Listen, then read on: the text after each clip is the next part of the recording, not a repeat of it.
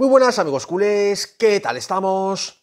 Uno de los jugadores señalados ayer, aparte de Eric García y Ferran Torres, fue sin duda Frenkie de Jong. El jugador holandés no termina de cuajar en el Barcelona y eso que Xavi ya le ha dado varias oportunidades. Frenkie es un gran jugador, pero también sabemos eh, de sobra que no todos los grandes jugadores pueden triunfar en el Barcelona. Atención a esta noticia bomba de última hora.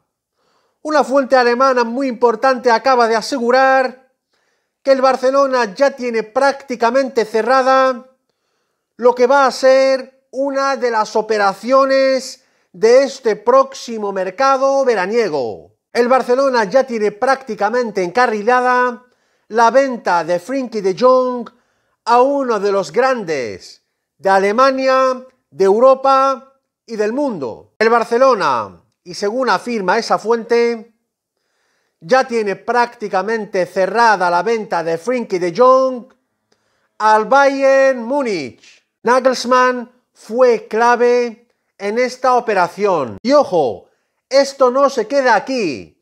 El verdadero bombazo es lo que viene ahora mismo. La misma fuente va a más y afirma que el Barcelona ya tiene prácticamente cerrado el que va a ser el sustituto de Frenkie de Jong. Atención, el jugador que va a sustituir a Frenkie de Jong en el Barcelona es nada más y nada menos que el internacional francés que juega en el Betis Nabil Fekir.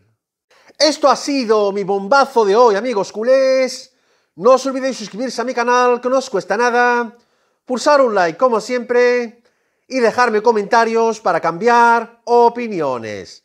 Muchas gracias. Forza Barça por siempre. Vamos a por todas.